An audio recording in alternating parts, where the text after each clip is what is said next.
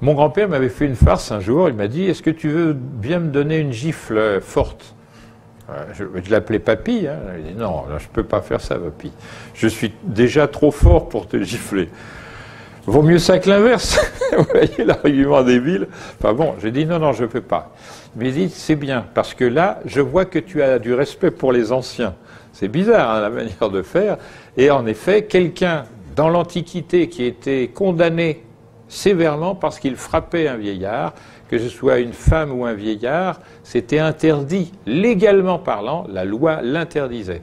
Et les gens qui frappaient euh, leur, euh, comment dire, je vous ai raconté ça, ça fait longtemps que je le dis. Le pape enfin les papes en général, mais tout particulièrement, avaient giflé un roi de France pour lui dire Tiens, maintenant tu t'en souviendras.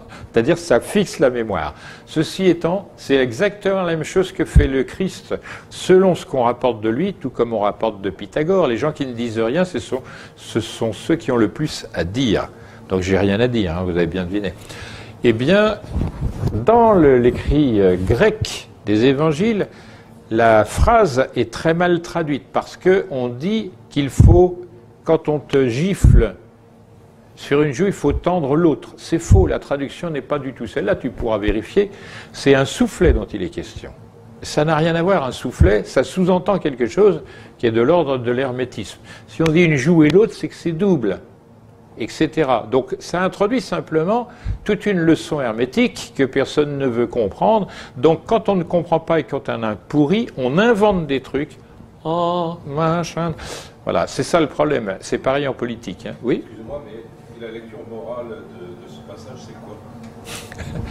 C'est que si tu relis bien tout le corpus des évangiles et ce qui va autour, les, lettres différentes, tu vas voir que Jésus dit qu'on m'amène mes ennemis, que les égorge moi-même. Ça veut dire que c'est pas, comment dire, être victime. Ça, c'est un trafic pour que les chrétiens se plient à qui? Devinez Au tripoteur de, des écrits. Les lettrés, euh, je ne sais plus comment, antisémites Ah non, euh, c'est pas ça. Bon, les sionistes déjà à cette époque, je ne sais pas. Non, mais c'est bien ça. Il y a des extrapolations qui sont euh, inséré pour des raisons politiques. Le pape a besoin que tout le monde lui soit soumis. Il gouverne les âmes. Déjà la sienne, ce sera pas mal, parce que si vous lisez l'histoire des papes dans le détail, mais la vraie, vous serez surpris, c'est, on appelle ça un pandémonium, pour vous dire, dans les écrits hein, critiques contre les papes. Si vous avez l'occasion, par exemple, de lire les écrits vrais sur la religion d'un certain personnage qui écrit contre les juifs, d'ailleurs, de qui parle-je? C'est le créateur d'une autre religion qui est, est sortie du christianisme. Luther Non, à Luther, donc c'est bien. Luther et Calvin, et non pas Calvaire et Lutin d'ailleurs. Hein.